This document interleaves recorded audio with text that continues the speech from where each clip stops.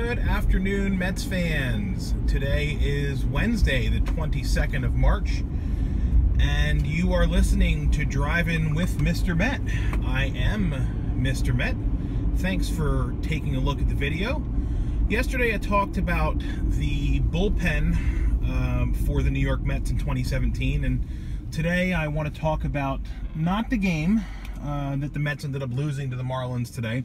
Uh, but instead, I want to talk about the starting rotation. So yesterday, as I mentioned, I talked about the bullpen, which I think is is sort of the most in flux out of anything on the team right now.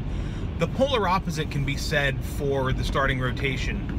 Um, the Mets have what a lot of other teams would covet out of their starting rotation, and that is a good amount of depth.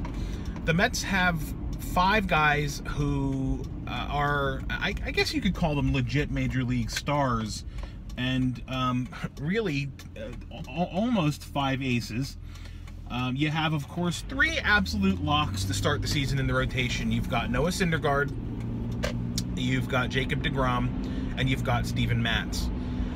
Then you have two spots for effectively four guys. Two of them are big names, uh, both recovering from surgery from last year, and that would be, of course, Matt Harvey and Zach Wheeler. The other two are lesser names, but they're no less impressive because what Seth Lugo and Robert Gsellman did last year really carried the Mets to their postseason berth, and they're claiming the wild card spot. So the big question now, frankly, is um, about extended spring training. Do the Mets feel it would be more appropriate to have Matt Harvey and or Zach Wheeler start the season in extended spring training. Wheeler has not had a lot of work. He doesn't have a lot of innings under his belt. Um, I think prior to his appearance today, uh, which was a bit rocky, he'd only had a little over four innings pitched, uh, so four innings of work. Uh, Harvey has a few more innings uh, under his belt. He's got over 10. Um, again, very small sample size. That's that's the theme of spring training. But um, he's looked he's looked like he's getting stronger with every start. The results aren't there as far as the wins or losses, as far as the earned run average.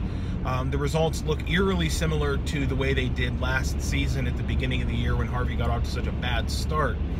Um, but his velocity's there. He's throwing in the mid 90s and he's too smart of a pitcher to end up not being successful this year. So I'm, I'm holding out hope that Harvey's going to be just fine as the season progresses.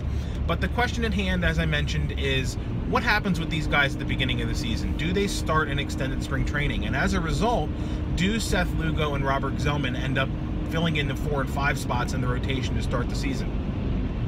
Those are the really those are the only real question marks surrounding this team right now. And the Mets have a are, are, in a position that other teams would be envious of, and that's that they have this uh, this depth with the starting rotation. And I've said this from the very beginning of driving with Mr. Met, and long before I started doing these videos. Health is the key. If the starters can remain healthy, this team has a really good shot to go deep into the playoffs this year. So, do you agree with my assessment of the starting rotation? Do you think that Harvey and Wheeler should start the season in spring training, uh, in extended spring training rather? Or do you think they should be on the major league roster in the four and five spots of the rotation? Do you think Lugo and or Gsellman, Lugo by the way, uh, has put up some incredible numbers this spring, combining his work with the Mets and with Team Puerto Rico in the World Baseball Classic. But that's neither here nor there. Does he deserve a spot at the rotation? Uh, let me know in the comments below. Or as always, you can reach me on Twitter at Mr. underscore Met. Thanks so much for uh, watching today's video. And until next time, as always, let's go Mets.